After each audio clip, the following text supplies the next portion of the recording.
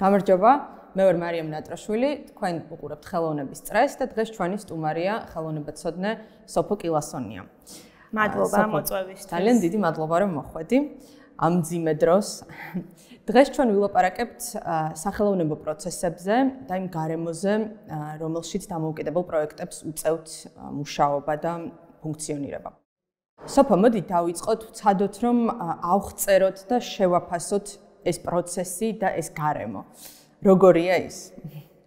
აა კიდევ ერთხელ მადლობას გიხდით მოწვევისთვის. სახელოვნებო პროცესის შეფასება ალბათ საკმაოდ რთული, რთული დავალება მომეცით. აა უპირველესად ალბათ უნდა შევთანხმდეთ, რას გულისხმობთ ალბათ სახელოვნებო პროცესში. ალბათ ეს არის არაუბრალოდ გარემო, სადაც ხელოვანები ასე თუ ისე არსებობენ. არამედ პროცესი გულისხმობს იმას, რომ არტისტების ხელოვანების მუშაობა როგორც რაღაც გარემო ფაქტორებზე თუ ინდივიდუალურ გამოცდილებაზე რეფლექსიას გაზიარებას ახერხებენ საზოგადოებისთვის. თქვენ როგორ ფიქრობთ? ალბათ დაგეთანხმებოდი ხო პროცესი რაღაც წარმომიდგენია რაღაც თანმიმდევრული და სისტემატიური ერთობლიობა სხვადასხვა დინებების. გაცვლა ერთი მხრივ როცა ხელოვანთა საზოგადოება ან ინდივიდები საკუთარ თავს, საკუთარ იდენტობას, არტისტულ იდენტობას ავლენენ ამა თუ იმ ხელოვნების ამა თუ იმ მედიუმში და ამ ეს არის ისეთ გარემოში, ისეთ სივრცეში ხილვადი, სადაც შესაძლებელია ურთიერთობაში შევიდნენ საზოგადოების ამა თუ იმ სეგმენტთან, სოციუმთან, ფართოდ თქვა საზოგადოებასთან. თუ კი ჩვენ თანხმდებით, რომ ამას გულისხმობთ სახელოვნებო პროცესში, იმიტომ რომ ჩვენ ვეხებით ვართ ისეთ სფეროში, მეც თქვენც, როგორიც არის ხელოვნება და აქ ბევრი რამ არის ცვალებადი, ეპოქებთან დროსთან და იცვლება ცნებების შინაარსები და ემატება და მსხვილდება ალბათ. ამიტომ მუდმივად მგონია, რომ მე მაქვს ესეთი ეტაპი, რომ სულ ვაზუსტებ, რას გულისხმობ. შესაძლოა იმიტომ, რომ ცოტა ტესტი გარემოა რაღაცებზე შეთანხმებულებიც არ ვართ. და სულ ვაზუსტებ, რომ მე ამას გულისხმობ და მე ვამოწმებ რამდენად გასაგებია რას გულისხმობ. ერთ-ერთი პრობლემა უკაცრავად ეგსეც კი არის ჩემი აზრით, რომ არ ვართ შეთანხმებულები არც სახელებზე, დეფინიციებზე და ბევრ რამეზე არ ვართ შეთანხმებულები. ალბათ ეს ერთ-ერთი მთავარი პრობლემაა. და თუ აი ამ პროცეს ურთიერთობის გაცვლის, იმიტომ რომ ხელოვნება ხო არის ძალიან ზოგადად რო ვთქვათ, რაღაც არტისტულ შემოქმედებითი თვითგამოვლენა. რაღაც კვლევაც ხო, არტისტი თავის თავსაც იკვლევს და გარემოსაც და კონტაქტში შედის აუდიტორიასთან. და თუ ეს პროცესია, მაშინ მაშინ ძალიან გამიჭირდება მისი დახასიათება, იმიტომ რომ ყოველთვის მას ჩვენს გარემოში ვერ ვხედავ. ანუ შეიძლება რადიკალურად ჟღერს, მაგრამ ჩემი ჩემთვის ასეა, რომ არსებობენ ადამიანები, ხელოვანები, ძალიან საინტერესონი ან კვლევის ან ძიების პროცესში და ეს პროცესი, მათი ეს ინდივიდუალური პროცესია, ცდელობებში და ასე შემდეგ. სადღაც არის საზოგადოება თავისი სხვადასხვა ამ პრობლემებით, ან ხედვებით, ან პირიქით, ნიჰილიზმით და ეს ამათ შორის ურთიერთობა შეხების წერტილებს და თანაც ამის თანმიმდევრულობას დიდად ვერ ვხედავ.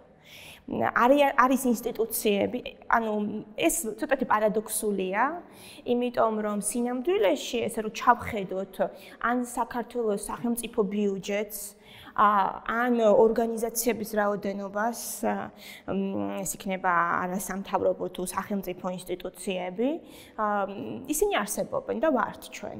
და განსაკუთრებით ვერც იმას ვიტყვით რომ რასაც წარმოადგენს ჩვენი სახელმწიფოს რესურსები ფინანსური იქ არ არის ადგილი ერთი შეხედვით კულტურის და მისი განშტოების ხელოვნების ინსტიტუციების რაღაც გარკვეული რაოდენობა არსებობს. ჩემთვის არის გარკვეული პროექტების და გარკვეული მცირე ან დიდი არტისტული გამოვლინებების თუნდაც პატარ-პატარა აფეთქებების და საინტერესო იდეების არტისტული სოციუმი არსებობს ეს.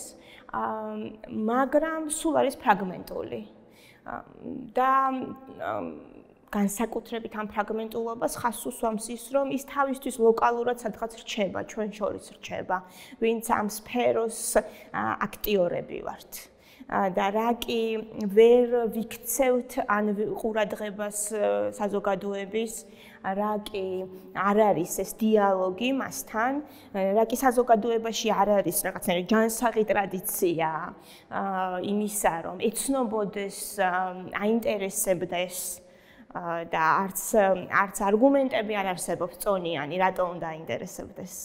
ამიტომ გონია რომ პროცესი ხმამაღალი ნათქვამია. ჩვენ გვინდა რომ ეს პროცესი იყოს და ვაფასებდეთ ამ პროცესს, მაგრამ ძალიან ბევრი რამ უშლის ხელს ამ პროცესს. მაგრამ ცხადია, ეს არ გულისხმობს ამ შემთხვევაში იმას, რომ არ არის რაღაცნაირი ღარიბი არტისტული, უხეშად ვთქვათ, რესურსი. ან ან არ სადღაც ვიღაც არ ხარჯავს ამისთვის როგორც ფინანსებს ისე ყურადღებას. აი აქ უკვე სხვა პრობლემები ამოდის ჩემი აზრით. ფრაგმენტულობა და შეიძლება ითქვას ასე არამდგრადი განვითარება არტისტული პროცესის ჩემი აზრით დაკავშირებულია არა არამდგრად და არც ისე ჯანსაღ მართლობასთან ანუ ესე კარგი მართლობა და მდგრადი განვითარება რიგი სფეროების ჩვენთან არ არსებობს. სფეროები რომლებიც ერთმანეთს ითვალისწინებენ მათი მენეჯმენტი მათი მართვა არის კომპლექსური ხო? აი ამის დანაკლისი გვაქვს. და რაც მთავარია ნომინალურად რესურსი ფინანსები და ყურად ყურადღება იხარჯება კულტურულ პროექტებზე, სადაც კულტურულ პროექტებზე ჭრჭალებში და კულტურულ პროცესზე, სადაც სხვადასხვა მოტივებით მიმდინარეობს გარკვეული აქტივობები, მაგრამ ეს დაცლილია იმ კულტურული გამოწვევებისგან, რაც საზოგადოებაში არის. ხოლო სახელოვნებო უშუალოდ კონკრეტულად სახელოვნებო პროცესი თუ კი სადმე უფრო ინტენსიურია, ეს არის ალტერნატიულ სივრცეებში, ჩემი აზრით. დამოუკიდებელი არტისტები, დამოუკიდებელი კურატორები, ან პატარა ორგანიზაციები, რომლებიც რატო ვერ იზრდებიან, ესეც მნიშვნელოვანი საკითხია, მაგრამ ამ ეტაპზე მას დავაკონსერვებ. ისინი ავითარებენ პროცესს, რომელსაც შეიძლება ვუწოდოთ ცოცხალი ცოცხალი არტისტული პროცესი. სადაც არიან არტისტები და ხელოვანები ჩართულები პროცესში, რასაც ქვია თანამედროვე ენაზე, თანამედროვე გარემოს და დროში საკუთარი თავის დანახვა და ამ დროის და გარემოს დანახვა სამავდროულად. და სადაც ელიან თანამედროვე დროში, მენტალურად თანამედროვე დროში მცხოვრებ ადამიანებს, მოქალაქეებს, ხო? ასეთი პროცესები, ჩემი აზრით, ასეთი პროცესებისგან უფრო უბრალოდ ასეთი მცდელობებისგან დიდწილად დაცლილია ის დიდი ინსტიტუციები, რომელშიც სახელმწიფო დებს ფინანსურ რესურსს. ეს არის ბევრ პრობლემასთან და ბევრ გადაუჭრელ ან იქნებ დაუმუშავებელ საკითხთან ერთად. აი, რაზეც არ უფიქრიათ, ან რაზეც არ გვიფიქრია ზოგადად თქვათ, ეხა თუ თავს აღვიქვავ როგორც სახელმწიფოს ნაწილს, რაზეც არ გვიფიქრია, ხო, ძალიან ბევრი საკითხია, რაც არ გვიფიქრია და არ გვიმუშავია. ეს ჩემი აზრით ეს არის პირველ ერთ-ერთი პირველი პრობლემა, სად იდება ყურადღება, ზოგადად რო ვთქვათ, ხო? და იქ სადაც ყურადღება იდება ამ დიდ ინსტიტუციებში, და აქ იგულისხმება რომ მყარი გრადი ბიუჯეტის არსებობა. გარკვეული ინფრასტრუქტურის არსებობა. გარკვეული, ხო, აი ეს რაღაც გარანტი იმისა, რომ ხვალაც იქნები. და ხვალ არ ჩამოგეშლება პროექტი ან პროცესი იმის მიხედვით, რომ უბრალოდ გადაიფიქრეს დამოუკიდებელი პროექტების შემთხვევაში როგორც ხდება. ან სადაც არ გეშინია, რომ გაურკვეველია კრიტერიუმები, უბრალოდ ხარ არსებობ და გაქვს სტატუსი და სახელმწიფო მნიშვნელობის რაღაცნაირი სტატუსი და აღიარება. აი იქ როგორც წესი სახელმწიფოს ამოცანებთან ჰარმონიზირებული პოლიტიკა და სტრატეგია არ ხორციელდება. და თავისთვის როგორც კუნძულები, როგორც დამოუკიდებელი სახელმწიფოები არსებობენ, რომლებსაც აქვთ შიდა ამოცანები, შიდა სურვილები, მათ შორის უნებები და ამბიციები და ეს ინსტიტუციები ამას ემსახურებიან და ეს არ არის მიბმული უმეტესწილად. ხო ალბათ არსებობს გამონაკლისი შემთხვევები, ალბათ მე უბრალოდ ეჭვს შევიტანდი ალბათ ყველაფერში, იმიტომ რომ ან ეს מחასიათებს, ან უბრალოდ ასე ასეთი გამოცდილებები მაქვს. მაგრამ აა დიდწილად უმრავლესობა არ ითვალისწინებს და უმრავლესობის მუშაობა არ დგას საზოგადოების კულტურულ ან არტისტულ ინტერესებსა და აი ამ სფეროსთან მიმართებაში არსებულ კრიზისებზე. ეს არის ერთი პრობლემა და ჩვენ გვინდა რომ რაღაც გარკვეული თანამედროვე ცოცხალი თანამედროვეობაში ამას გულისხმობ რომელიც საინტერესო იქნება ამ დროში ამ გარემოში მცხოვრები ადამიანისთვის თავისი პრობლემებით და თავისი სხვადასხვა ტიპის გამოწვევებით. ასეთი პროცესის წამოწყებას ცდილობენ დამოუკიდებელი ორგანიზაციები, ინდივიდები და ეს არის ძალიან რთული, იმიტომ რომ ორგანიზაცია ვერ ძლიერდება თავდაპირველად თუ მას არ აქვს სერიოზული მხარდაჭერა ადგილობრივი ეს დაუწერელი კი არა დაწერილი წესებია თქვენ ეს მოგეხსენებათ თუ მას არ აქვს ადგილობრივი ხელისუფლების ან სახელისუფლებო ორგანიზაციების მხარდაჭერა ამის გამოცდილება უმეტესობას გვაქვს და ამავდროულად თუ გარემო არ არის მზად იმისთვის რომ დამოუკიდებელმა ინდივიდმა რაღაც ახალი ალტერნატიული ამ დროისთვის და ამ გარემოსთვის ექსპერიმენტული სცადოს აა მაშინ ძალიან რთულია. და გარემოს ერთი და ორი ინდივიდი ან ერთობა ვერ ცვლის. გარემოს ვერ შესაბამის რომ არტისტული პროცესი განვითარდეს მარიამი და სოფო ერთბაშეთ ვერ შეცვლიან მარტივად რომ. თუმცა ამდენი ხანი მართლაც ეს რაღაც დამოუკიდებელი პროექტები თანამედროვე ხელოვნებაში მით უმეტეს მართლაც რაღაც ათეული ადამიანების ენთუზიაზმზე დგას რა. რადგან სახელმწიფო ინსტიტუციები ჩაკეტილია, ისინი დახურულია ძირითადად ისინი დახურულია ძალიან რთულია მასში შეღწევა, თქვათ თუნდაც ექსპერიმენტული პროექტებისთვის ან თანამედროვე ხელოვნების პროექტებისთვის ძალიან იშვიათად გვხდება, თუნდაც ეროვნული მუზეუმი მაგალითად, ან სხვადასხვა ეს სივრცეები, რომელსაც მუდმივი დაფინანსება აქვს და სწორედ ის ხელშეწყობა აქვს, რაც საჭიროა დამოუკიდებელი ინსტიტუციების განვითარებისთვის. იქ რაღაცები ხდება, მაგრამ ეს პარალელური სამყარო არის თითქოს არა?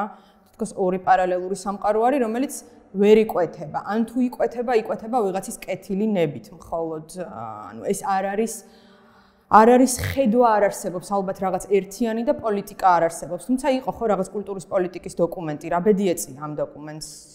კითხულობს ვინმე ან ითვალისწინებს ვინმე ან მივყვებით ამ დოკუმენტს. შეიქმნა მომავალი 10 წლის ან შეიქმნა მე მგონი 5 წლის წინ. ხო მართალია ერთ-ერთ ეტაპზე რაღაცა გარკვეულ ჯგუფში მეც ვიყავი ჩართული შემდეგ ეს ჯგუფი დაშალეს შემდეგ შეიქმნა ახალი ჯგუფი მე ახალი ჯგუფი.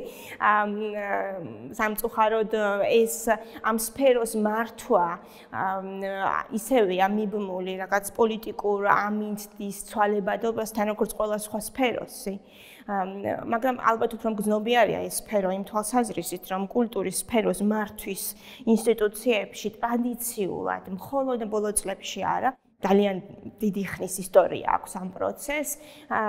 საქმდებოდა რაღაც მაღალი პროცენტი დასაქმებული ადამიანების როგორ ვთქვათ, არა იმდენად სხვადასხვა ხელოვნების ან კულტურის სხვადასხვა მიმართულებების პროფესიონალები იყვნენ ხოლმე, რამდენადაც. სამწუხაროდ თითქმის ყველა მთავრობამ მოიაზრა კულტურის სფერო როგორც ახლა ცენ პარტიული მეგობრების შეიძლება თამამად ითქვას ან დასასაქმებელი აუცილებლად დასასაქმებელი ადამიანებისთვის აი მარტივი დასაქმების სფერო რადგან ითვლება რომ ამას რაღაც სპეციალური სპეციფიური ცოდნა არ ჭირდება თითქოს იქ ესე ითვლება. ხათაშორის მედიაშიც ანალოგიური სიტუაცია გვაქვს, ანუ ყველაზე მარტივი, რატომღაც ასე მოიაზრებოდა და მე მგონი ახლაც არის კულტურული გადაცემის კულტურის შესახებ, საერთოდ კულტურის ცნების არასწორი გაგება. და ბოლო დროს ეს არის ჩემი თავარი ამოცანა, რომ ვილაპარაკო იმაზე, რომ ეს კულტურა არის ძალიან ფართო და ძალიან პრობლემური და საზოგადოებისთვის ძალიან მნიშვნელოვანი მნიშვნელოვანი რიგი საკითხები, რომელსაც ხოთა შორის პოლიტიკურ კრიზისებამდე მიუყავართ, მაგრამ ნუ როგორ ვთქვათ ახლა ესე ვთქვათ ყოველდღიურობაში დავამკვიდრეთ, რომ კულტურა ეს არის გართობა და მედიაშიც და სხვათა შორის სახელმწიფო მართვის პროცესშიც ეს არის სფერო, სადაც ვინც ასე ვთქვათ ვინც უნდა დაისვენოს, აქ უნდა დაისვენოს ერთი სიტყვა. აი ყველაფერი რაც აქამდე ვთქვით, ეს იმიტომ კი არ ხდება, რომ მხოლოდ არაპროფესიონალები ან გულგრილი ადამიანები მუშაობენ ან სახელმწიფო ინსტიტუციებში ან სხვადასხვა დიდ ორგანიზაციებში მყარი და ფინანსებით. ალბათ უფრო სერიოზული მიზეზი და უფრო ესეთი ფესვები ამ ყველაფრის ალბათ იმაში მდგომარეობს, რომ ჩვენ ვერც ერთხელ ვერ მოვიცალეთ იმისთვის, რომ ერთი მხრივ შეგვეფასებინა რაზე ვლაპარაკობთ და რა მნიშვნელობა აქვს ამას. და ამის ამ პრობლემის დანახვა ალბათ არის ძალიან იოლე. ნებისმიერ ჩვენს მეგობარს რო ვკითხოთ, ვინც მაინც და მაინც ამ სფეროზე არ არ ფოკუსირდება და მისი ყოველდღიურობა არ არის მიჯაჭვული სახელოვნებო პროცესთან, ანუ კულტურის რომელიმე ასე ვთქვათ, პრობლემა ვერ ხედავს როგორ ახდენს მასზე გავლენას, მას რომ ვკითხოთ, შეიძლება თქვას, რომ ეს არის მეათასე ხარისხოვანი. და ეს ამას აქვს ძალიან ლოგიკური ახსნა. სინამდვილეში ალბათ ეს არის ჯანსაღი პასუხი, იმიტომ რომ ძალიან მრავალი წელია ჩვენ ვერ მოვიცალეთ ამ სფეროს პროფესიონალებმაც კი რომ ვიკულიოთ დღის წესრიგში დავაყენოთ რაზე ვლაპარაკობთ. ერთი მხრივ რა არის კულტურის სფერო, რამდენ რამე სითრევს ის და ცალკე ვერ ვერ მოვახერხეთ რომ გველაპარაკა იმაზე თუ რა არის ხელოვნება და რას გულისხმობ და ბოლო-ბოლო იქ მივხვდეთ გჭირდება თუ არა ის და როგორია ეს ხელოვნება აი, იქნებ ცადოთ ახლა და ორი სიტყვით ვილაპარაკოთ ამაზე. და რატო დგას ეს ამოცანა, ასე რატო გვაქვს, რატო არის ეს პრობლემა? ალბათ ჩემი მე ჩემ თავს ვეკითხებოდი დღეს ამას. და პრინციპში მივედი, შეიძლება არა ვარ სწორი, მაგრამ რა კი რაღაცეთ ვიკვლევ უახლეს წარსულს და ამაში უგულისხმობ საბჭოთა პერიოდს და საბჭოთა პერიოდის ხელოვნების ბუნებას, ასე ვთქვათ. შესაძლოა ისე როგორც ბევრ რამეს ვაბრალებთ საბჭოთა პერიოდს, შესაძლოა ამის დაბრალება შევძლო, იმიტომ რომ დასავლურ საზოგადოებაში ეს საკითხი არ დადგება, რაში მჭირდება ხელოვნება. ნუ გარკვეულ სოციუმში და საზოგადოებაში შესაძლებელია ან ასე ვთქვათ, ცოტა პროვოკაციულ დისკურსში დადგეს ეს კითხვა დღის წესრიგში, მაგრამ ზოგადად ყოველდღიურობაში საზოგადოების უმრავლესობისთვის არ არის გამაღიზიანებელი ხელოვნება. ჩვენთან გამაღიზიანებელია. ჩვენთან ყოველი წამოწყებული საუბარი, რომ გვჭირდება ხელოვნება და ხელოვნების მხარდაჭერა უმრავლესობაში კითხვის ნიშნებს ვადებს და ალბათ მოგეხსენებათ თქვენც და მაყურებელსაც რომ ძალიან სერიოზულია ასე ვთქვათ პოლიტიკური ერთობებიც კი სხვადასხვა დროს აყენებენ დღის წესრიგში რომ ხელოვანება მიხედონ თავის თავს და მეტნაკლებად გარკვეული თეორიიდან ეს სწორია.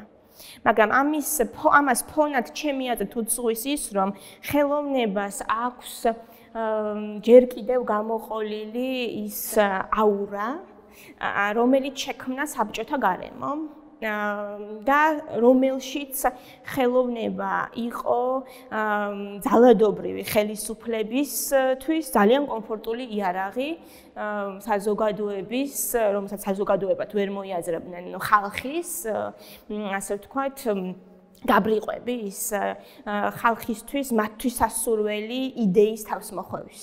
და რაც მთავარია სინამდვილის სინამდვილის შეფუთვა. ისეთი გარსით რომელიც არანაირ კავშირში არ იყო რეალობასთან. და მგონია რომ პოსტსაბჭოთა საქართველოსში ხელოვნება ისევ ამად აღიქმება ხო ალბათ ყველამ სხვადასხვა თაობის სხვადასხვა მკვლევარმა თუ პროფესიონალმა ცოტა ვიზრუნეთ იმაზე რომ ხელახლა გვეგრძნო ცნებების შინაარსი მაგრამ მე მგონია რომ ფაქტი ამაში მდგომარეობს რომ ხელოვნება არის ის რომელსაც ახლა უნდა მივხვდეთ აბსოლუტური თავისუფლება ან დავტოვოთ უყურადღებო ველში და მაგრამ ესეც ესეც არის ასე ვთქვათ ერთი შეხედვით. პარალელურად მე ვიხედები საქართველოს სახელმწიფო ბიუჯეტში და აღმოვაჩენთ, რომ ძალიან დიდი თანხები, მილიონები ხშირად იხარჯება აი ამ თითქოს ყურადღება მიუქცეველ პროცესში, თითქოს ქაოსში დატოვებული სფეროს, ქაოსში დატოვებულ სფეროში ამოარჩევენ ხოლმე პერიოდულად დიდ რაღაც ისეთ პროექტებს ან პროცესებს ან ინსტიტუციებს. ყოველგვარი ასე ვთქვათ წონიანი არგუმენტების გარეშე მრავალი წლის განმავლობაში და უშუალოდ ფინანსდება ისეთი მიმართულება როგორიც არის შოუ ბიზნესი რომელიც ცალსახად სახელმწიფო დოტაციაზე არ უნდა იყოს. ან ფინანსდება ისეთი ფესტივალი, რომელზე მოხვედრა საზოგადოების ძალიან დიდი ნაწილს არ შეუძლია. აა და უკვე ჩნდება შეკითხვა, თუ ერთი მხრივ ჩვენ თავისუფლებაში ვტოვებთ მთელს არტისტულ პროცესს და ვამბობთ, რომ თვითონ გადარჩეს.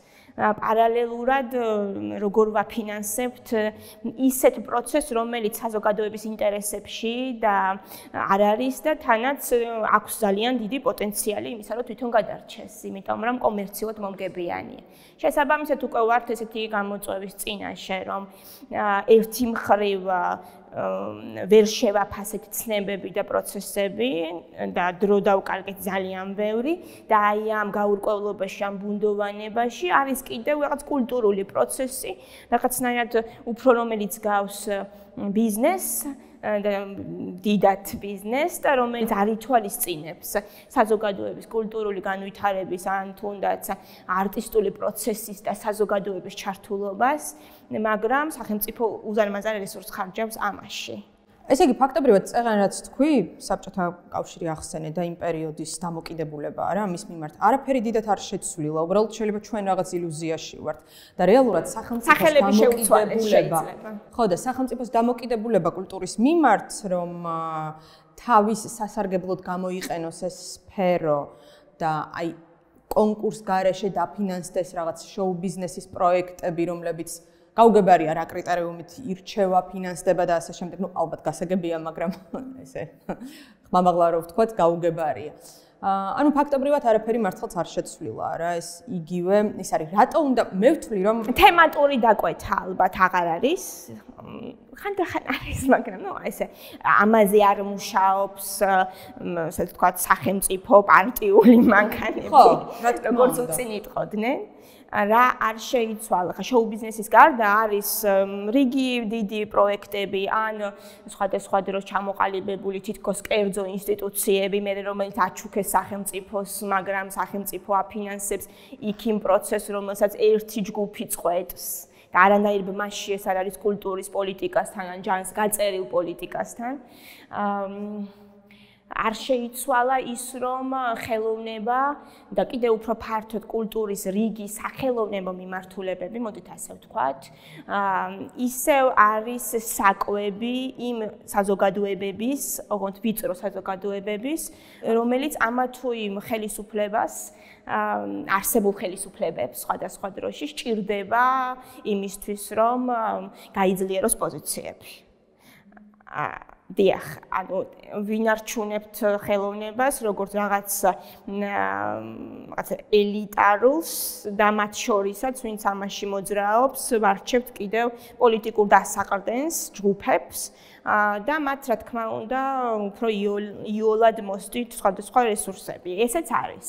აქ არის რა თქმა უნდა ნეპოტიზმის კვალი, აქ არის თანამოაზრეობის, ანუ პოლიტიკური თანამოაზრეობა რიგ შემთხვევაში წარმატების სახელოვნებო პროცესში, ან უფრო ფართოდ ვთქვათ, კულტურის სფეროში პროცესის წარმოების სათავეში ყოფნისთვის იშვიათი გამონაკლისებს გარდაცხადია. არის გარანტი, რომ შენ შეინარჩუნებ შენს პოზიციას. ამიტომ ხელოვნება და თუნდაც მთელი კულტურა, ის კულტურა, რადაც რასაც ვარქმევთ ჩვენ კულტურას, მიბმულია პოლიტიკურ დღის წესრიგზე.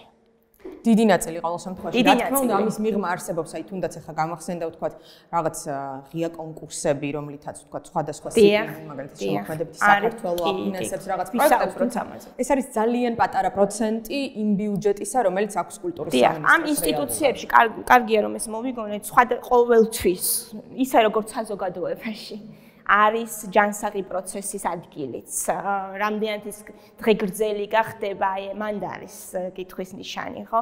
და არიან პროფესიონალების პატარა ჯგუფები, რომლებიც ყოველას გასაკეთებას ცდილობენ, რომ გააკეთონ. და ეს იყო ყოველთვის ასე, ალბათ იმ საბჭოთა პერიოდშიც კი, რომელიც არ გვეზარება და წარა, მაგრამ ვიხსენებთ, იმიტომ რომ სხვა გზა დაღიდაგვესვა ძალიან სერიოზული.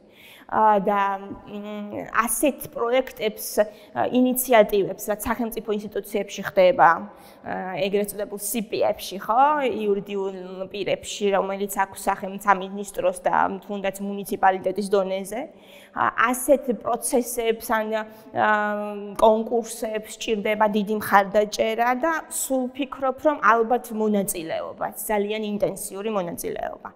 ანუ მე გარკვეულ პროექტებსაც ვცდილობ რომ გავაკეთო და ერთ-ერთი ყველაზე სასიამოვნო რამ რაც მაქვს მიჩნდება პროექტის კეთების დროს თუ კი ვცდილობ რომ ამ პროექტით პრეცედენტი დავაშვებინო და დავეხმარო იმ კარგ ინიციატივას რომელსაც გარკვეული ჯგუფები ახორციელებენ ან კონკურს.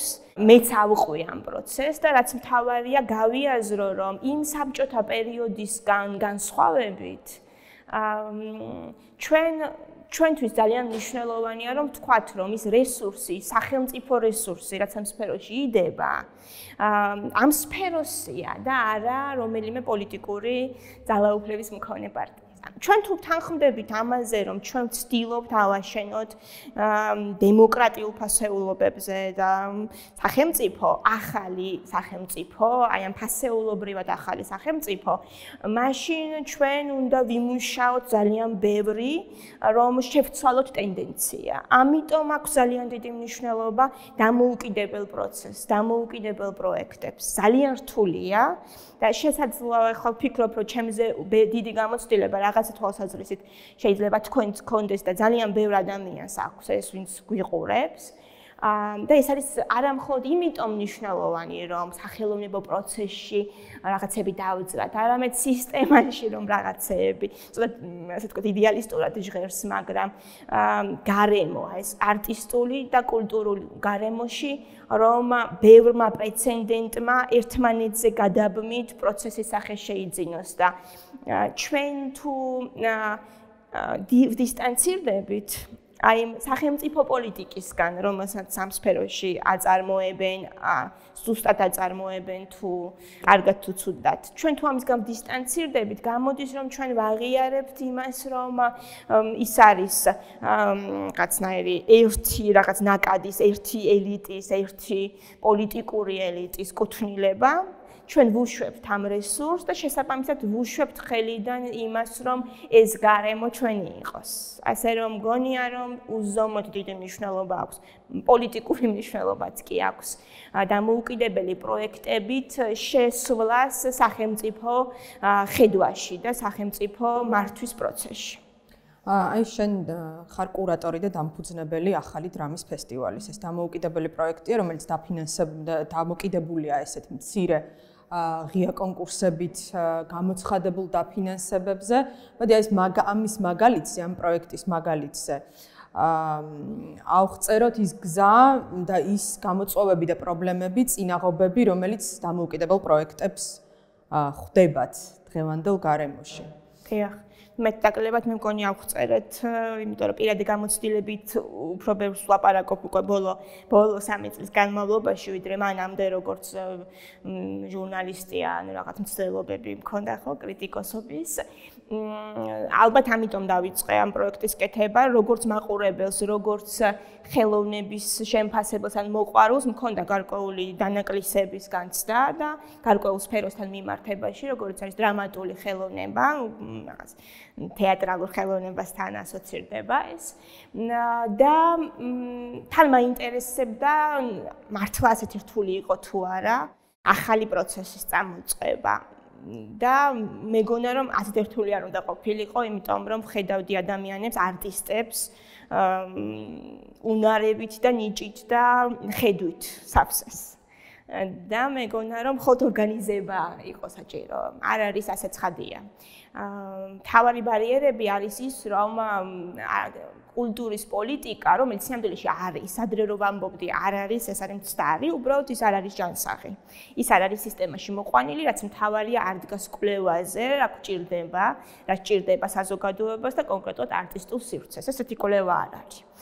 და თუ სადღაც არის, საქციელი და გამოკვლეული ერთმანეთთან თანხვედრაში არ მოდის.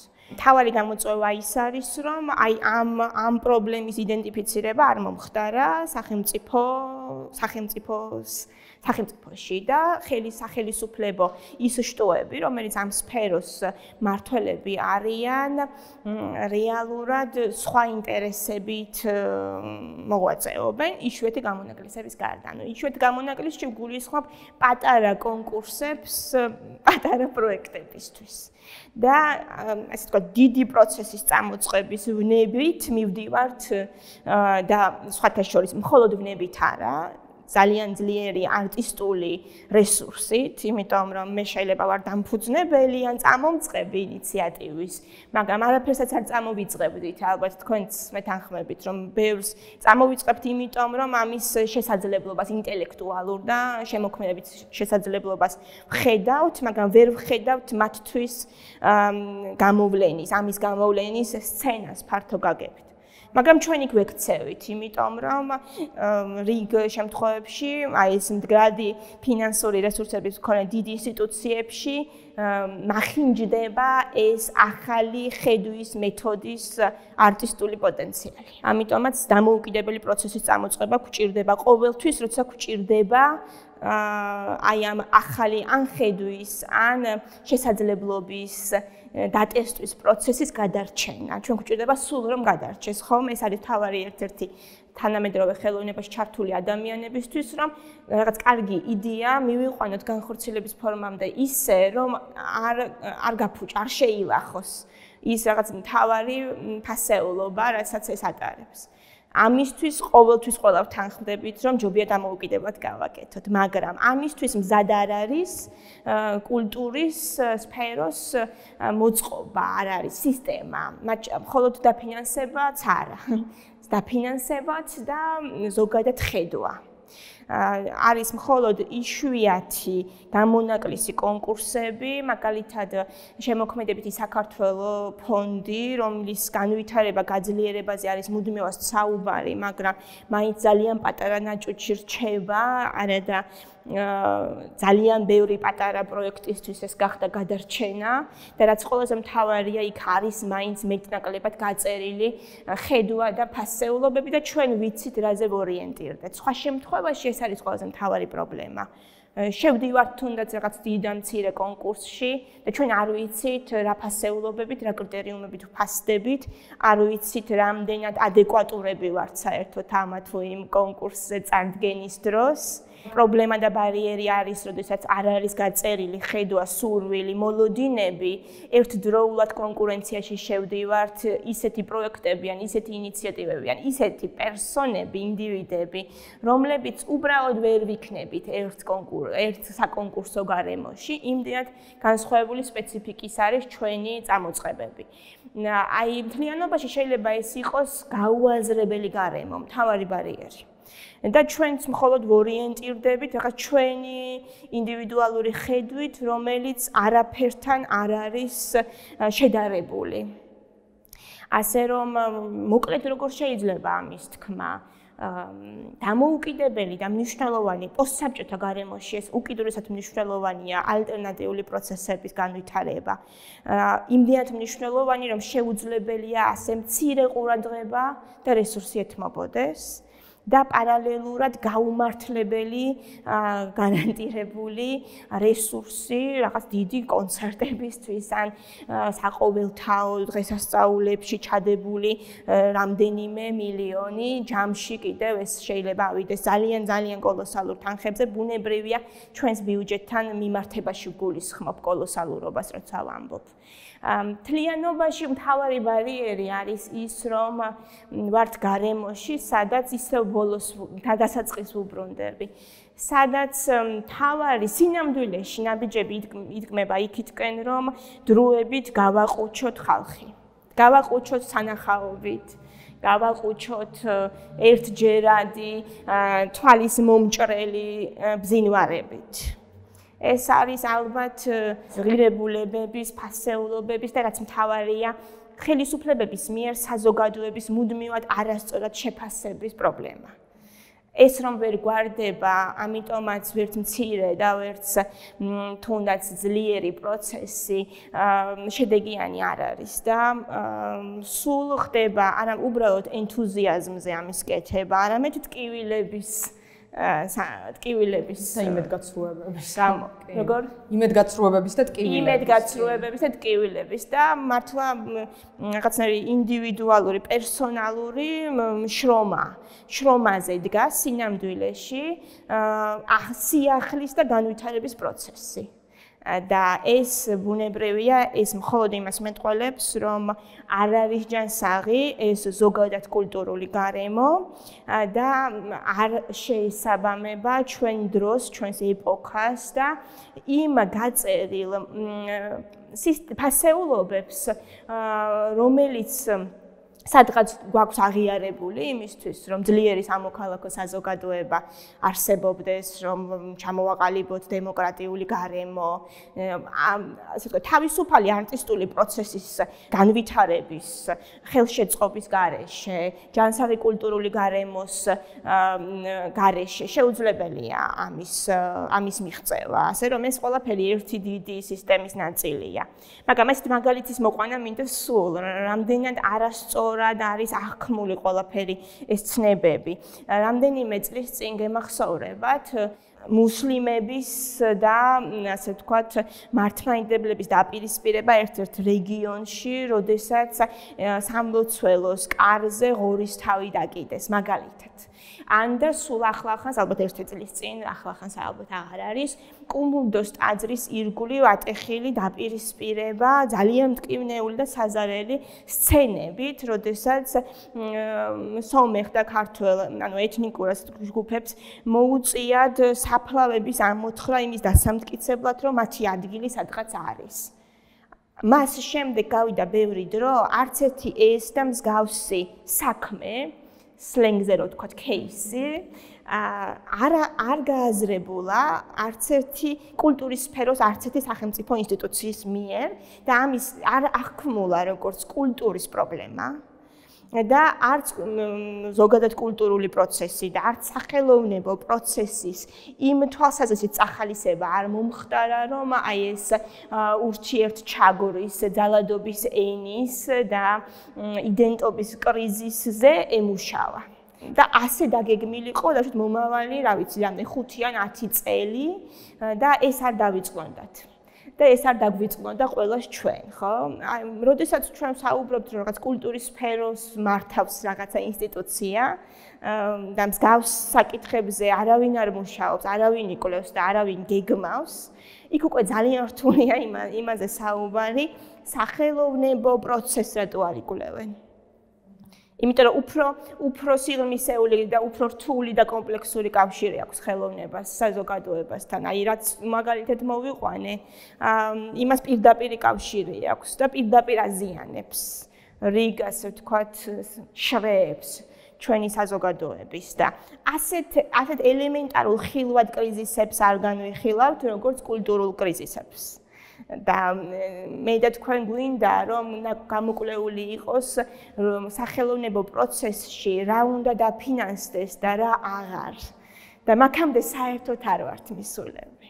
კი ეს ზედმეტი თავის ტკივილიც არის და არა მაგის გარდა რაც ჩამოთვალე ახლა ცოტა ხნის წინ აი მოზაიკა მოანგრიეს საბჭოთა მოზაიკა და რაღაც იმაზე ამბავი იყო ატეხილი თუმცა ამის პარალელურად გელათი ფრესკებიც ვივა ხო ანუ მართლა ზოგჯერ ვფიქრობ ხოლმე რომ ვთქვათ აი ეს წუწუნი ესე წუწუნი ესე ვთქვათ ცოტა სასაცილო სასაცილოც კი არის აი ამ ყოლაფრის ფონზე თითქოს რა, იმიტომ რომ რაღაცნაირად თითქოს ეს ხომ არ არის რაღაცა პატარა ჯგუფის პრობლემები რომელიც სასარგებლოა უბრალოდ მოუმზადებელი ოპონენტი ყავს თუ კი ის ოპონენტია საერთოდ ანუ ვისაც ვთხოვთ კულტურის პოლიტიკის შემუშავებას და ფურცელზე კი არა არსებობს სტრატეგიული დოკუმენტი რომელსაც ამოქმედო გეგმა არ მოყვა ეს თქვენ თქვენი კითხვა მაგონდა ფურცელზე შეიძლება ბევრი რამ იყოს აქ ხომ მე კიდევ არა მხოლოდ პროფესიონალიზმი არამედ პროფესიონალიზმს დამატებული კეთილ სინდისიერება და რაც მთავარია ნება და ვნებაც სჭირდება რომ გინდოდეს შეცვალო. და ამის ეს ძალიან პატარა პროცენტში გვაქვს ხო ამის დანაკლისი გვაქვს. და ერთეულები ერთეულები არიან ამ სისტემებში რომელიც ცდილობენ და ძალიან რთულია და მე არ მგონია რომ სახელოვნებო სფერომ საუბარი საკუთარ მნიშვნელობაზე და საკუთარ შესაძლებლობებზე უნდა შეწყვიტოს იმის გამო რომ ბევრი სხვა პრობლემაა. უბრალოდ მე იმის თქმა მსურდა რომ ვინც ამაზე ვარ რეაგირებდეს, იკვლევდეს სინამდვილეში ხო დასავლურ საზოგადოებაში უფრო ცოტა წინ განვითარებულ ამ თვალსაზრისით განვითარებულ საზოგადოებაში, როგორც არის სახელმწიფოს მოწყობა და მართვა, ხო? სამინისტროებს და მის დაქვემდებარებულ ორგანიზაციებს ერთად ლაბორატორიები ჰქვია. კვლევითი ცენტრები, რომლებიც ამუშავებენ ინფორმაციას და მეორე სხვადასხვა ფონდებში მიდის ეს მესიჯები, რა არის მნიშვნელოვანი, სასიცოცხლოდ მნიშვნელოვანი რიგ სფეროებში, მათ შორის ხელოვნებაში. ანუ მე არ მგონია რომ ჩვენ არ უნდა ვისაუბროთ სახელოვნებო პროცესზე. უნდა ვისაუბროთ რომ არ უნდა იყოს ნეპოტიზმია კონკურსებში. უნდა ვისაუბროთ რომ უფრო მკაფიო უნდა იყოს რა კრიტერიუმებით ვინ გვაფასებს და როგორია მათი ხედვა. მაგალითისთვის პანდემიის დროს მე თუ ვაკეთებ პროექტს, აი მაგალითად ერთ-ერთი ეს ახალი დრამის ფესტივალი. ყველაფერზე მის შესახებ ვერ ვისაუბრებ, მაგრამ თუ ვაკეთებ პანდემიის დროს ახლა ვაკეთებ და წერ რომ 40 შტატგარეშე არტისტის თვის მჭirdება ეს პროექტი, იმიტომ რომ თუნდაც ერთ თვეში აიღონ ხელფასი ანაზღაურება. პანდემიის დროს ეს არის პრიორიტეტი თუ არ არის პრიორიტეტი? და თუ ეს პრიორიტეტია, მაშინ ვისთან შევდივარ კონკურენციაში, მაგალითად. ეს ამას არ ვამბობ რაღაცა კონფლიქტის მიდან შრიდან პირიქით მაგალითად ეხლა ველი პასუხს მუნიციპალი მერიისგან რომელიც ჩვენი მხარდამჭერია უკვე მესამე წელს იქნება მესამე წელი ანუ შემოქმედებითი საქართველოს და მერია ეს ძალიან პრინციპში მადლიერები ვართ რომ ასეთი კონკურსები არსებობს და მინდა რომ ეს კონკურსები იყოს კიდევ უფრო მკაცრი მოთხოვნის ხარისხის ამაღლების თვალსაზრისით და ვიცოდე რა დროს ვიქნები უფრო ზუსტი და იქნება პროექტი უფრო ზუსტი. პანდემიის დროს ჩემთვის პრიორიტეტი მე გადავწყვიტე რომ და ორგანიზატორებმა რომ პრიორიტეტულია რომ რაც შეიძლება მეტ არტისტს მივცეთ ანაზღაურება. ანუ მოდი დავზოგოთ თანხა ინსტალაციაში. მაგრამ მისი ინტელექტუალური შრომა წავახალისოთ. მე არ ვიცი ეს იქნება თუ არა პრიორიტეტული დონორისთვის. ანუ აი ესეთი საკითხებზე უფრო მეტი კონკრეტიკა არის საჭირო. ხო, ну დონორებისთვის დროსთან აცდენა ძალიან ხშირი არის ხოლმე უბრალოდ წერან თქვი რომ ვინ არის ჩვენი პარტნიორი? ან და ამ ჩვენ პარტნიორს აქვს თუ არა გააზრებული კულტურის სფეროში რა გამოწვევებია და ხელოვნების სფეროში რა საჭიროებებია? ესე ქაოსურად ყოველფრის დაფინანსება არის დიდი შეცდომა. ამის ნიშნები გვაქვს. კი, სწორედ ეს არის, აი არარსებული ხედვა არის, ხო? ცოტა-ცოტა მივცე პატარა პროექტებს. და ბევრი-ბევრი მივცე პოლიტიკურ პარტიული მნიშვნელობის დიდ პროცესებს და დიდ ინსტიტუციებს, რომლებიც მე ალბათ გამომადგება არჩევნების დროს. აა დასაწყისში საზოგადოება ვახსენეთ. და ვთქვათ აი ამ გარემოს აღწერისას ვთქვით რომ ეს რაღაც აფეთქებები თუ რაღაც ფრაგმენტული გამონათებები ფრაგმენტულია ეს პროცესი რაღაცები ხდება მაგრამ მე შთაბეჭდილება ხშირად მრჩება ხოლმე რომ ეს ჩაკეტილი წრე არის რაღაცნაირად და საზოგადოება არ არის მაინც და მაინც ამ ყოლაფერში ჩართული.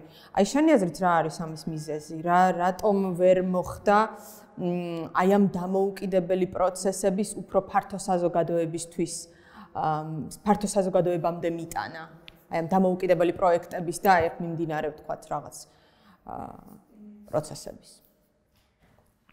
სახელოვნებო პროცესის ის მთავარი გლობალური არაკეთებთ სწორად? ამის ჩვენ რას არ ჩემ თავს უსმავ ამ კითხვას ალბათ. ყველაფერს იმ შეცდომას ვუშვებთ რაც ყველა სხვა ახასიათებს ამ საზოგადოებაში. ნაკლებს შრომობთ ალბათ ნაკლებს ვიკვლევთ მაგრამ სტრესულ გარემოში ვაკეთებთ ამას და ძალიან რთულია, ძალიან პროფესიონალურად მიუდგე სახელმძღვანელოს მიხედვით აწარმო პროექტის მართვა. შეუძლებელია, იმიტომ რომ არის მარტივად ხა შიდა სამზარეულო ისეთია, რომ რიგ შემთხვევაში ძღოლი ხარ, კურატორი ხარ, შემოქმედებით კონტექსტს ამზადებ და ასე ვთქვათ, პრაგმატულ ნაბიჯებს დგამ, ხო? და არ ყავს ასისტენტი, იმიტომ რომ უბრალოდ არ ყავს ასისტენტი, ამის რესურსი არ არის. ალბათ შეფასება მაინც ვჭირდება, სად არის აკუმულირებული ინტერესი, პრობლემა, ყურადღება და ამას უნდა ვუპასუხოთ ზუსტად. ახალი დრამის ფესტივალის კეთებისას ეს ჩვენ გავთვალეთ ნაწილობრივ, მაგრამ ამავდროულად პირველმა წელმა გვიჩვენა რამხელა შიმშილს მივაგენით. მხოლოდ იმის თქმა, რომ თეატრალურ ხელოვნება ხელოვნებაში რაც არის, ჩვენ შევეცდებით ამას გავემიჯნოთ, იმიტომ რომ დავაფიქსირეთ, რომ მაყურებელი მხოლოდ ტრადიციის გამო დადის სამსივრცეში და მეც მხოლოდ ტრადიციის გამო დავდივარ. ამ რაღაც იშვიათი გამონაკლისების გარდა ისე ვამბობ. აა და არ არის მის ისაც მინდა რომ ესმოდეს და ამიტომ ამას მოვარგე კონცეფცია, მოვარგეთ კონცეფცია, რომ აქტუალური თემა და მეტნაკლებად ვეძებოთ ამ რესურსებით ამ შესაძლებლობებით ფორმა, სამეთყველო ფორმა, რაც თანამედროვე დრამატულ ხელო დრამატულ ხელოვნებას უნდა ახასიათებდეს, მოდი ეს და აი ამის ასე ვთქვათ, აი ამაზე მეტყველებამ მაინც გამოიწვია ის, რომ ხა პერფორმანსი არის მაინც საკმაოდ საჯარო. და იტევს ამ საჯაროობას და აქტი და მაინც კიდევ ისო ტრადიცია არის, რომ ეხლა მე შენ წარმოგიდგენ სპექტაკლს. მაყურებელი იმაზე მეტი მოდის, ამ მოდიოდა პანდემიის დროს ვერ მივიღებთ მაყურებელს, ვიდრე ვიდრე ველოდით. ან ვიცი, 100%-იანი დასწრება და უფრო მეტი. მაგრამ თქვენი კითხვა მარტო ჩემს პროექტს არ ეხება. ეს არის შეუძლებლობა იმისა, რომ რუდუნებით და თანმიმდევრულად ვიმუშაოთ, იმიტომ რომ ექსტრემალურ გარემოში ვმუშაობ და ვუშვებთ ბევრ შეცდომებს. რა თქმა უნდა, კიდევ ისაც გვახასიათებს ჩვენ გავართ ჩვენს საზოგადოებას, ჩვენს ერს, იმიტომ რომ ეგენი ვარ, ეს ვართ. ამიტომ რა თქმა უნდა გვაკლია ნებისყოფა CGUT-ე კარგი გაგებით შრომის თვალსაზრისით, უნარებით და ყველაზე მთავარი ის არის, რომ იმ ხელა პრობლემებს ვხედავთ, რომ გვეშინია. და ვცდილობთ, რაც მეც מחასიათებს, ჯერ პატარა პატარა ნაჭუჭში მოკრძალებულად იქნებ და ეს არ გადის ფართო ფართო მასშტაბს ვერ იძენს.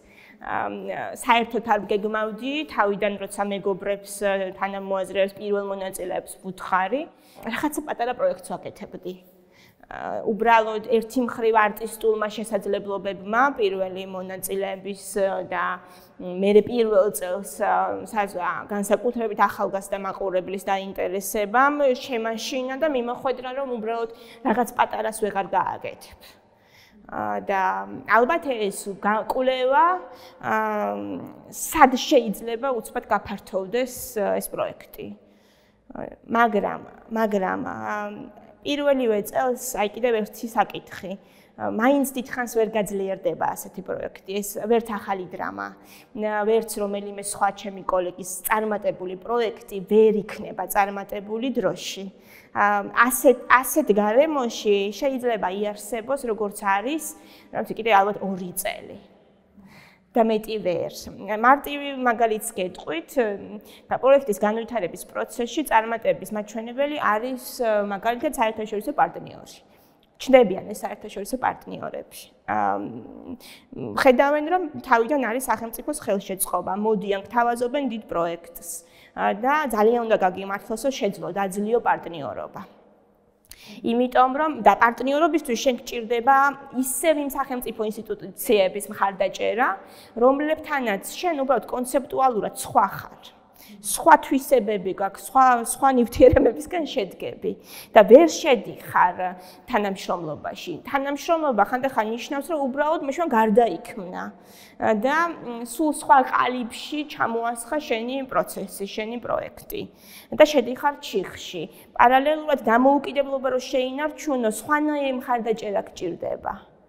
და მაშინ გავიტანთ ბევრი არტისტის ნამუშევარს, შევახვედრებთ უცხოელ არტისტებს. ამის მხარდაჭერა ის მასშტაბი არ არის, იმიტომ რომ პატარა პროექტები სინამდვილეში მხარდაჭერილია, იმიტომ რომ ცოტა-ცოტა, როგორც წეგავ თქვი, მოთხოვნები და სურვილები დაგვიამონ. ოღონდ ეს პატარა მოთხოვნები და სურვილებია. დიდ მასშტაბზე და დიდი სცენები სხვა სხვა იდეოლოგიით იდურთება. ძალიან ბევრი პრობლემა არის მართლაც ესე ძალიან ძნელია ამ ერთ გადაცემაში ჩავატიოთ.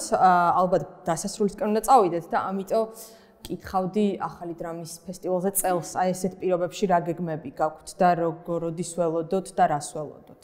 ამ პირობებში მივხვდით რომ ორმაგად მნიშვნელოვანია რომ განხორციელდეს თუნდაც იმიტომ რომ სფეროში ჩართული არტისტები, ავტორები, მწერლები თუ მსახიობები, რეჟისორები ბა იმუშაონ და რაღაც ისე თქვა აპათიამ ბოლომდე არ მოგვიცვეს. ამას გარდა მოვიძიო მცირე რესურსი მაინც ფინანსური, რომ მართლა საუბარია რაღაც იმაზე. პათეტიურად და რაღაცნაირად ისმის, მაგრამ გადარჩენაზე. და კიდევ ერთი უფრო უფრო ასე ვთქვათ კონცეპტუალური მხატვრული ჟინი არსებობს. ახალი დრამის კონცეფცია თავიდანვე ითვალისწინებდა ასე ვთქვათ შეძახილს ერთმანეთისთვის ნათქვამს, რომ მოდი ახლებურად ვიმუშაოთ. და ავითვისოთ ყველა რაც რისი საშუალებაც გვექნება ახლებური ენა ახლებური შესაძლებლობები. თუნდაც რომ თუ დიდ დაწესებულებებში ან თეატრებში რაღაც რამდენიმე ათეული ათასი ლარი სჭირდება წარმოდგენას ჩვენ გავაკეთებთ 2000 ლარად და და ის მაინც გამოიმარჯვებს რაღაც კონკურსებში, როგორც საუკეთესო ნამუშევარი. ან თუ არ გამოიმარჯვებს, კონკურენციაში შესვლა არ არის ამოცანა არსებულ მეინსტრიმულ პროცესთან ხელოვნებაში. აქ ამოცანა არის, რომ ახლებული რამ შევთავაზოთ მაყურებელს, რომელსაც უნდა სიახლე, უნდა თავისი თავი დაინახოს, მით უფრო დრამატულ ხელოვნებაში უნდა დაინახოს თავისი თავი. ამბავში უნდა დაინახოს და და გვეყოლება მაყურებელი და გვეყოლება აუდიტორია და მომავალ წელს ენდომებად ჩვენთან ერთად თანამშრომლობა. ამ პროექტის იდეა იყო სამწუხაროდ დებიუტანტებს და სრულიად დამწყებ ხელოვანებს ვერ ვერ თანამშრომლები, იმიტომ რომ ექსტრემალური პროექტია. ექსტრემალურ პროექტში მუშაობა გამოცდილება საჭიროებს. და ჩემი ხედვა ის იყო რომ თვითონ მე მაინტერესებდა გამოცდილ და საინტერესო ავტორებთან მუშაობა. ნუ ეს კურატორული ძალაუფლება დავიტო. წელს ზუსტად იმიტომ რომ ახალი შესაძლებლობების ან ენის ინტერნეტის ონლაინ ურთიერთობების გამოწვევა დადგა დღის წესრიგში რომ ეს უნდა დაძლეული იყო. გადავწყვიტე რომ ამ ფორმატშიც უნდა გაგვეკეთებინა და ახალი ტექსტებია დაწერილი. რეჟისორები უკვე მუშაობენ დგამენ ვიდეო პერფორმანსებს დიდხანს ვიფიქრე ეს რა იყო? ეს არ იქნება პერფორმანსი გადაღებული კამერებით ეს იქნება სწორედ კამერებისთვის დადგმული გარკვეული წარმოდგენები მოგეხსენებათ რამდენად ბევრად უფრო ძვირია ვიდეო ფორმატი და ალბათ ეს რაღაც ძალიან დიდ შტაბეჭდილებას ვერ მოვახდენთ, იმიტომ რომ ტექნიკური საშუალებები გვაქვს ძალიან მწირი და მთელი ბიუჯეტი თითქმის ამაში მიდის. სინამდვილეში ციფრული პროექტები ბევრად უფრო ძვირი ჯდება ვიდრე. დიახ, და პანდემიის დროს მაინც შეგვიმცირდა დაფინანსება. ყველა დონორისგან. ანუ სინამდვილეში კი იყო თითქოს საუბარი იმაზე, რომ პანდემიის დროს რითი გავაუმჯობესოთ, რომ საერთოდ არ ჩავარდეს არტისტული პროცესი, მაგრამ აი ამ ხელა ახალი ტვირთი გვაქვს, რომ არ ჩავარდეს ახალ ტექნოლოგიებს ვერ გავთ იქ, სადაც ის არ ყოფილა და ბიუჯეტი გვაქვს კიდე განახევრებული. დიახ, წლიდან წამდე ცოტავდება. მიუხედავად იმისა, რომ მონაწილეობის მსურველთა რაოდენობა, არ ვიცი, თქვა გეომეტრიული პროგრესიით არა, მაგრამ მისდება ძალიან. და ეს იმიტომ ხდება, რომ სინამდვილეში არ არსებობს სივრცე, სადაც ადამიანები გამოცდიან იმას, რაც არ არის გამოცდილი. მეტიც აქ არის კიდე სხვა ბარიერი და დიდი დიდი პრობლემა, რომ ეს პროექტი არ იყო რაღაც ესე თქვათ ახალგაზრდა ავტორებისთვის პირველი შანსის მიცემის პროექტი.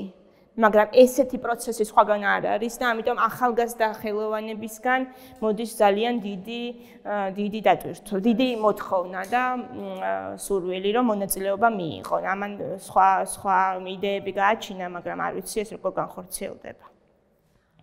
ნახოთ.